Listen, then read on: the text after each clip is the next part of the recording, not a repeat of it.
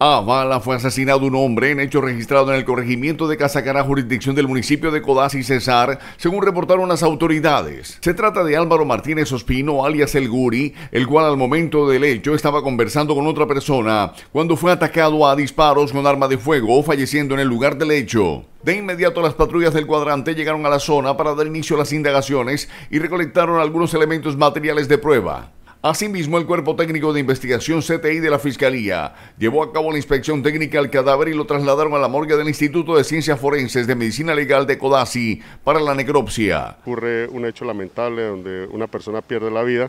Eh, también esta persona tenía antecedentes por, por diferentes delitos y gozaba de casa por cárcel. Hay que anotar que esta persona fue muerta en vía pública. De acuerdo a las primeras informaciones, el antes mencionado al parecer estaba dedicado al hurto y tendría medida de prisión domiciliaria. La comunidad en el corregimiento de Casacará pide a las autoridades que se hagan más patrullajes en la zona para evitar cualquier hecho delincuencial.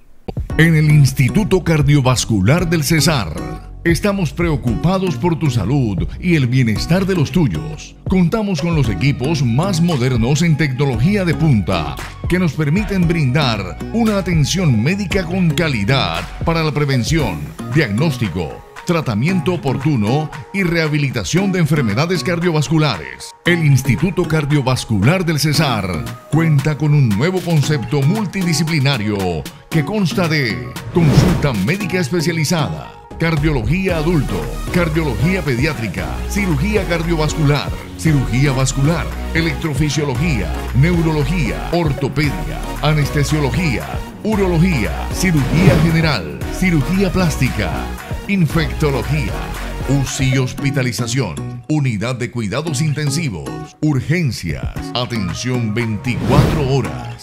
Instituto Cardiovascular del Cesar, por el corazón del Valle.